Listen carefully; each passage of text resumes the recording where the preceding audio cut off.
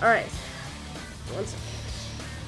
So we've got a Sharpie, got a uh, deck of cards.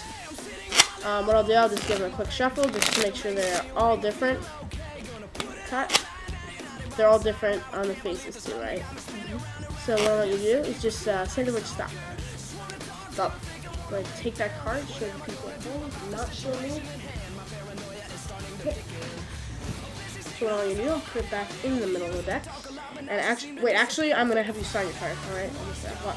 What I want you to do is sign the back of the card. Actually, sign it really big across the back. Just scribbles. Nice. All right. So you've got two hints of what your card is, right? Go ahead, um, make sure that doesn't come off. Doesn't come off. Okay, that doesn't come off. All right. So we've got your your signet, whatever that is, on the back, and we've got the card you chose on the front. I'm guessing that was just the Queen of Diamonds, right? All right. So what I'll do, I'll just riffle down. I'll, I'll stop at a card. Uh, my card is what? The uh, nine of hearts, right? Nine of hearts.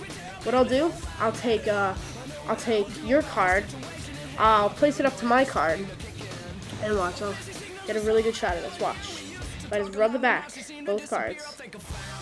Watch. I just put them together for just a moment, your signature no longer on your card. Just go and make sure. Go turn it over. That's that's really just your card, right?